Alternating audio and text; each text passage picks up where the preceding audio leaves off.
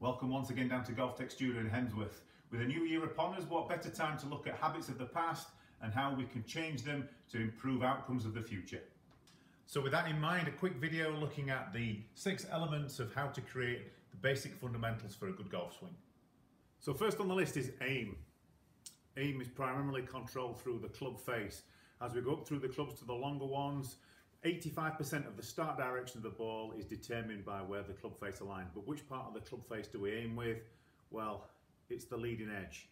The leading edge of the club should be at 90 degrees to the ball to target line. So stance, as a general rule of thumb, the inside of the feet should be like the outside of the shoulders. So here we are measuring the width of my shoulders. Toes should probably be slightly turned out and I tend to measure the width on the heels rather than on the toes.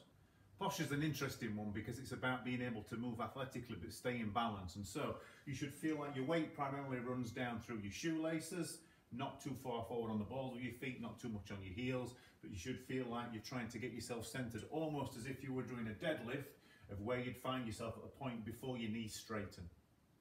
Grip is a little bit of a subjective one because it can change depending on what your path is and you'll not know your path until we start hitting golf balls. But as a general rule of thumb, left arm and shaft in line, you should be able to see two knuckles on your top hand, left hand for a right-handed player, and you should feel like you can probably see around about one knuckle on your bottom hand, and that then will put some pressure of the right hand against the left hand, feeling like almost you're trying to force your elbows together a little bit.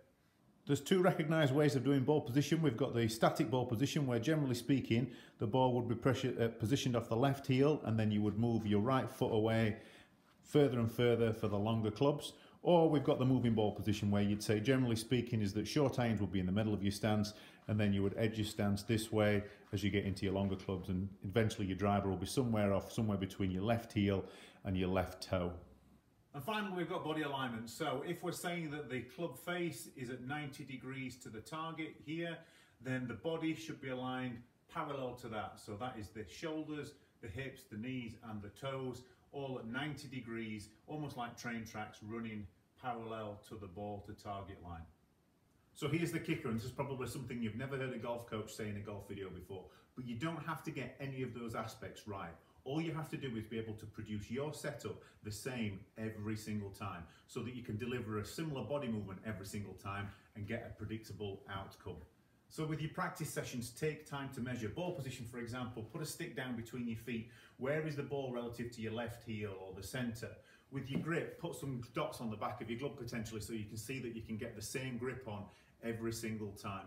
When I'm practicing, if something goes wrong, and often it does, I can generally guarantee that it's something within my setup that has caused a problem later down the line. It's like a chain reaction. So the more change you can get in position before you start moving the club, the more chance you've got of producing a consistent and predictable outcome. Take the easy wins. Golf is not easy, but if you build your golf swing around solid foundations, then you'll have a fundamentally more sound golf swing.